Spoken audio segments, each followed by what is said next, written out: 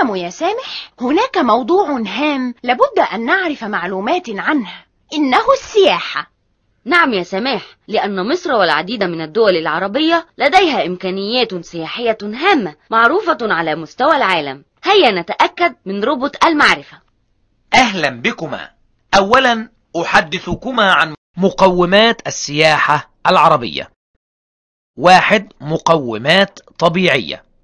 ألف الموقع المتميز المتوسط للعالم ب المناخ المتنوع المعتدل جيم الطبيعة الخلابة اتنين المقومات البشرية واحد توافر الفنادق والقرى السياحية اتنين توافر وسائل النقل والمواصلات والاتصالات تلاتة توافر مظاهر الحضارة أربعة توافر الأمن والأمان.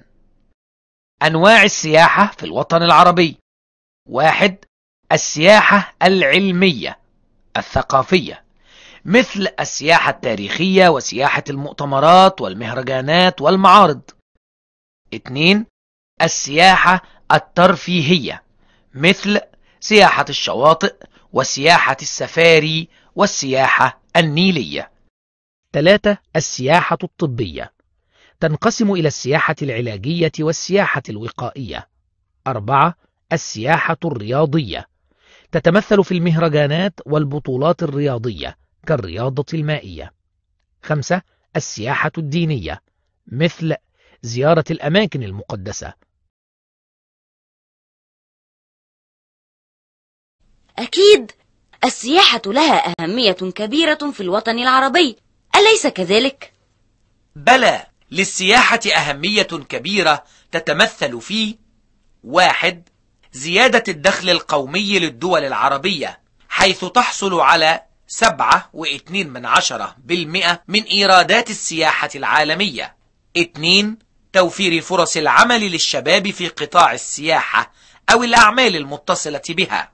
ثلاثة تحقيق التقارب والتفاهم بين الشعوب. أربعة توفير الأموال اللازمة للمشاريع الصحية والتعليمية والخدمية المختلفة. أنا شاهدت في التلفزيون وزير السياحة يتحدث عن جهود الدول العربية لتحقيق التنمية السياحية. منها واحد الدعاية والإعلان عن المناطق السياحية والأثرية في الدول العربية من خلال المؤتمرات والنشرات. اثنين التنسيق بين الدول العربية من خلال إنشاء المنظمة العربية للسياحة عام 2005 ميلاديا. ثلاثة مد الطرق بين الدول العربية وتوفير وسائل النقل المختلفة التي تربط بين الدول العربية بعضها البعض وبين دول العالم.